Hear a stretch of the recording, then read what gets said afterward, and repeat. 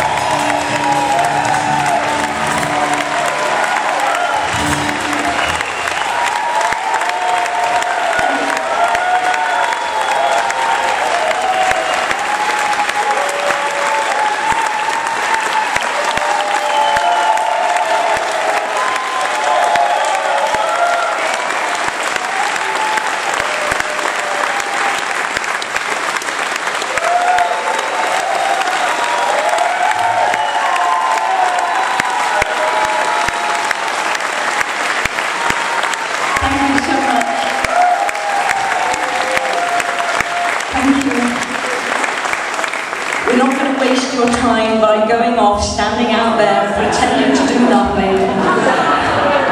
I, I don't get that at all. I think, you know, you guys, you've worked as hard as us, and uh, so we're going to just kind of do another song for you. I'm just going to squig, because this is a big sing for me. Okay, I started in punk. When you're on stage with your band and you're playing punk, the bricks bleed. the volume is painful. And the joy of doing this show is that we can hear each other. we can hear you. And all the harmonies are correct and it's, oh, it's just so lovely. This song is, it was a single, and it's, when we do it with the the electric band, it drives, it, you know, the audience pass out, go into it. It's, it's blistering. But this version, which I love doing, is like an evil story you're telling to a child because it's been naughty. It's like a really mean Jackanory story to a child in my room. And uh, we do it with intensity but without volume, and it's called Ieya.